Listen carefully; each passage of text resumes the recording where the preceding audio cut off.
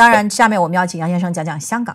那么香港呢，昨天是回归二十五周年哈。当然，我们这个看到的这个呃媒体，主要是国内媒体哈，包括香港的一些媒体，这个传达出来的信息都是彩旗飘飘哈，这个一片祥和。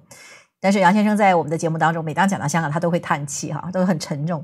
所以呢，这个还是要来聊一聊哈，这个到现在哈，就是您觉得香港现在回归到现在了啊？其实如果是说呃，我们今天的这个标题哈，他还 给给杨先生先定调，对不对？然后这个 是您觉得您觉得香港还可以从头再来吗？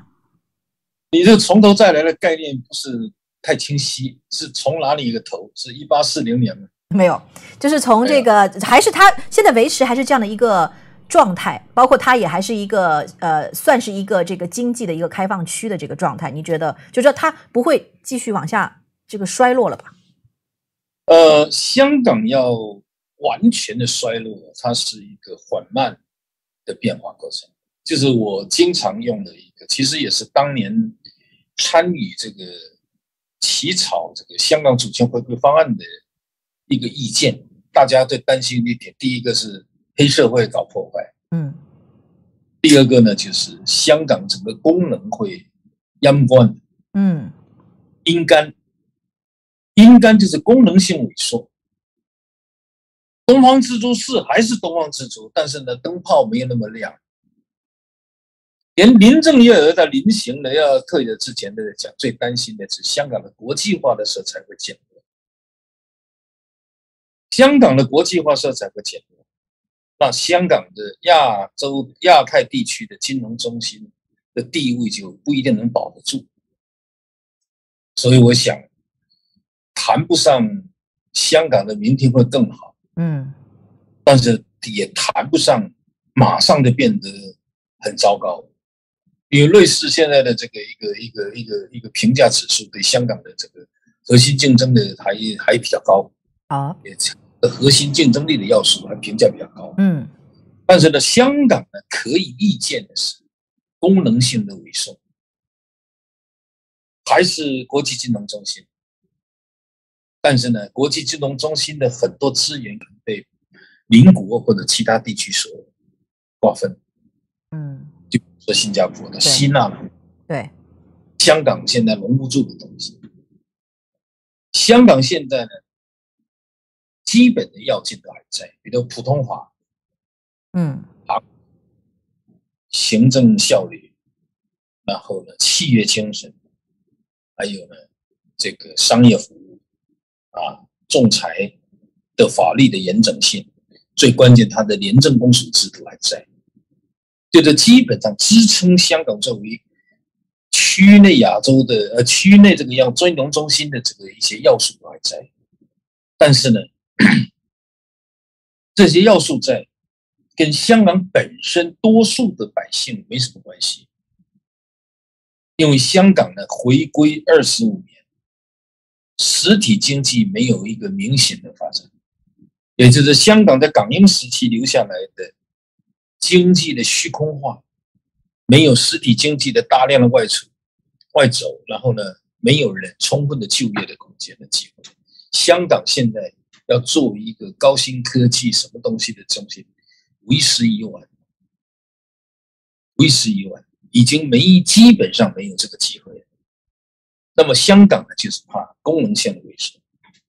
香港的实体经济如果改变不了目前的状况，特区的财政负担会越来越重，人才留不住，外资企业留不住，那你说香港是不是有萎缩的危险？而这种萎缩，上海还有其他什么东西要取代香港，也不是一件那么容易的事。嗯，所以呢，这个是一个最难的，是未来二十五年最难的是人心的回归，是人心真正的回归。最难的是这一点。殖民地时期并没有给香港人多少的民主，但是呢，给了香港人。相对多于内地和其他地方的自由。殖民地时期，在《反英看报》之前，对香港的管制是放纵，贪污横行，什么乱七八糟，他不管你，反正我在有限的时间，租来的借来的时间，借来的地点，挣更多的利益。他的治理是因为麦理浩当总总督那十年才构建的，这也是对反应抗暴以后的一个一个反思。但是回归以后，别忘了，西方国家对香港每年都有一个监察报告，在二零一零年以前，每年的报告都是满意的，没有提出任何的批评。所有对香港的负面评价的窃取是二零一二年以后，也就是习近平主政这十年。嗯，有的香港回归十五年，没有任何负面的东西。尽管他也遭遇到亚洲金融风暴，遭遇到 SARS，遭遇到世界金融危机，但是它摇摇晃晃的，基本上还保持一个相对的一个动态的平衡。北京对香港的基本法、对香港的各种现状的干预和处理，也没有像那么的明显，有不明显。所以呢，它处于一种在中央政府的角度来看，它处于一种不完全回归的状态。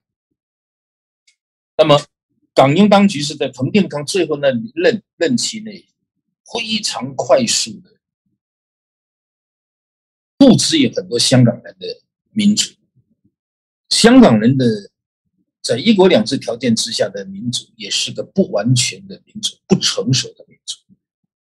如果是一个很成熟和稳健的民主运动，不会出现像香港在回归二十多年来，尤其是二零零五年之后对那些相对表现比较激进、比较幼稚、比较不成熟。所以呢，你讲香港的二零一九年的大规模的抗争有没有各种形形色？当然有啊，当然也跟他这个牵头的人，跟他这个街头的激进。我想这个东西都是报名政治都会有这样的习惯，所以你看不到香港的中产阶级代表的政治力量，有台湾民进党，甚至党外运动时期的文件。台湾的这个政治反对力量是有长期的这么一个训练，理论的训练、实践的训练。刚开始也很激进，但后来就没有。所以你看很多激动、激进，特别是大规模的群众期间，他没有退出机制的时间。跟北京天安门事件广场上最后的那一次是一样的，失控啊！这个我讲一个重大的历史事件，不能只归咎于当权当局的政策，这是两造。嗯，现在香港也没有这个样的人和力量去做这样的认真的反省。总结归纳，所以你要期待未来二十五年香港还有一个成熟的民主的选举不行了。嗯，现在按照习近平的这个想法，他这个一国两制跟以前人们理解一国两制已经完全不一样。第一，香港你要自觉的维护港人要自觉维护中国共产党的领导，这个部分港人做得到。但是呢，多数的港人未必做得到这一点。嗯，你要求一个社会大家都听你的话，中国大陆十四亿人也未必做得到，所以呢，这个是一个啊一个很有意思的说法。嗯，第二个，他也强调全面管制权，对，和有效的这个治权，这个说法也是个新的说法。第三呢，三权不能独立。三权要协调，第四爱国者治党，那这不是一国一制吗？这跟中国大陆的中国特色的社会主义的政治制度不是，也没有什么太大差别。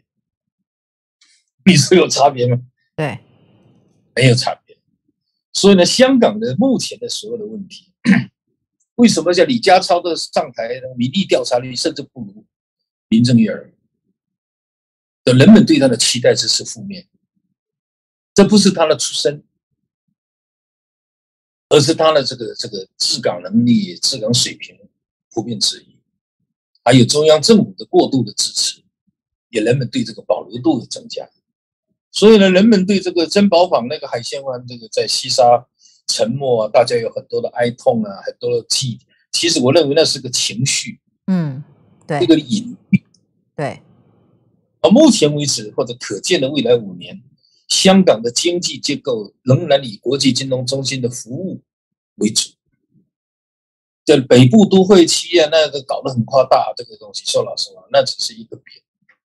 香港的命，前途的走向不是跟大湾区融合，而是要拼命走出，走向国际。但是现在的国内外的形势又不允许他拼命的往外走，因为香港再也不是一个单纯的经济中中心、经济金融中心的城市，它已经处于一个东西方矛盾交错冲击的一个要这一个一个隘口。原来就是个东西方文明的交汇区，东西方文明的重叠处，东西方文化的一个互相在交融的国际，有。它自己独特的特色，但现在复制有很多政治的色彩。中美关系，中国跟西方国家的政治的博弈，香港成了短兵相接的博弈的战场，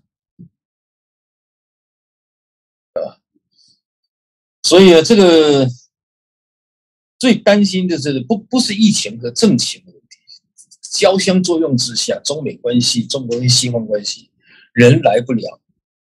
企业总部要搬迁，国际化逐渐的在减弱，那是给新加坡捞了一个大便宜。嗯，新加坡高兴死了，所以新加坡这个总理很郑重其事的，这个要给 新加坡总统提个建议，要给 习近平发一个至高无上的荣誉勋章。嗯，这不知道他是什么意思啊？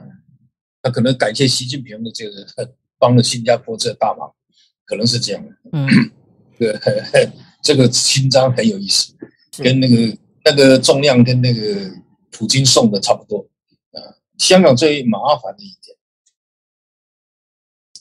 二十五年回归，长期积累的经济结构性问题没有解决，找不到解决的。你的北部都会区啊，弄了半天也是房地产。这个呢是香港呢，就是不会马上糟的一塌糊涂，但是功能性的萎缩可能是一个看得到的趋势。嗯，是的，杨先生，刚才您讲到了哈，这个人心的回归。那其实我们我们看到那个有报道哈，我看的是 BBC 的一个报道，他是说，其实，在呃，九七回归的时候，人心是逐渐的对于中国的认同，其实是逐在逐渐升高。到了二零零八年，是到达到最高点。我我我的这两天人们不断的念叨的香港的好处，香港什么好处？就讲到那一帮艺人，八九六十的哭的喊的在跑马地，哭的喊的捐款，高喊反攻口号，都是呢华东大水灾的这些人，哭啊喊的，这个刘德华身上打大石头啊，打的吐血。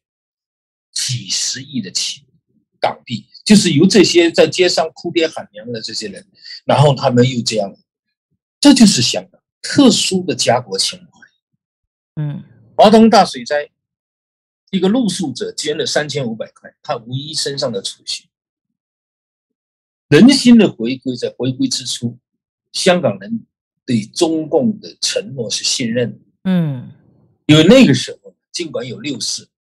在那个时候呢，看得到改革开放的路线没变，大家的信心还在。